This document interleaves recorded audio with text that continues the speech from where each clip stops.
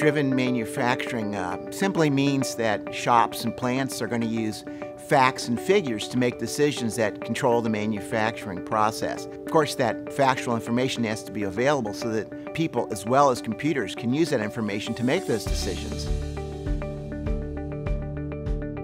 I think the trend toward data driven manufacturing is important because it basically implies that facts are going to be replacing wishful thinking, guesswork, unproven theories, even personal opinions as the basis for making decisions about manufacturing. It also means that um, people will have more reliable information on a timely basis. So these decisions are going to be made faster and they're going to be better decisions. Um, I also think that when you have facts available, people ask the right questions and the answers are going to be more reliable. You know, the data that we need to drive manufacturing is going to come from a lot of different sources and it's going to be a lot of different formats. Of course, you know, the information that's in a digital format is probably going to be the most useful because that's the kind of data that computers can gather and process, store, and feed to applications that help us make that information usable.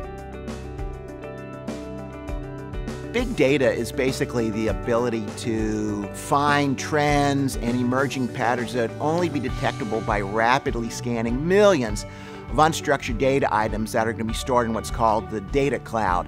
And, and the data cloud refers to these massive networks of shareable computer memory that are shareable and accessible on the internet. So we'll be able to use that information to find out important things about manufacturing not only in our own plants, but what's going on around the world. There are a number of key developments that are going to enable manufacturing to be driven by data. Certainly one of the most important is the introduction of the MT Connect standard. And this is a standard that uh, creates a common format for manufacturing data so that it can be shared between manufacturing equipment and computers for use in the kinds of applications that make this information usable by decision makers on the plant floor. Another important development is the rise of all kinds of intelligent sensors that are going to make it possible to get lots of different information from machine tools and other manufacturing processes that we never had before.